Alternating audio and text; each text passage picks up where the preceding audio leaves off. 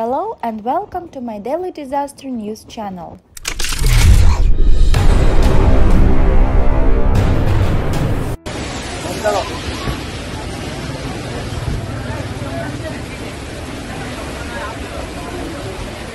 The information in the video shows an incident in India and Pakistan.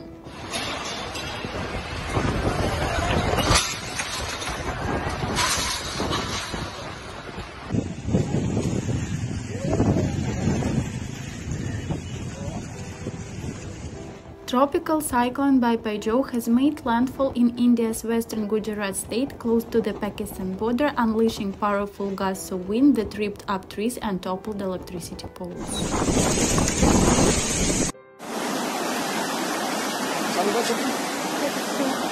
બોલા અમારું ઘર અમારું ઘર જુઓ કેવું ભાંગી ગયું રસોડું વયું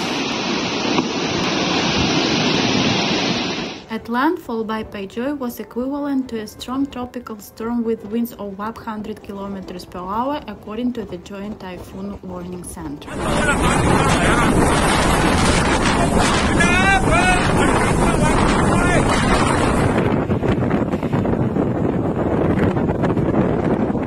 As it moves slowly inland, the winds and storm surge threats are expected to diminish, with flooding becoming the most significant impact for millions of people over the next 48 hours.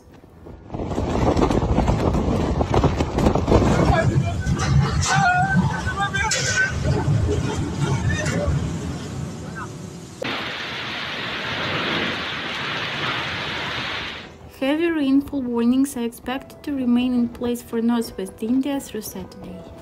Don't forget to subscribe to the channel to keep abreast of the most important changes on the planet.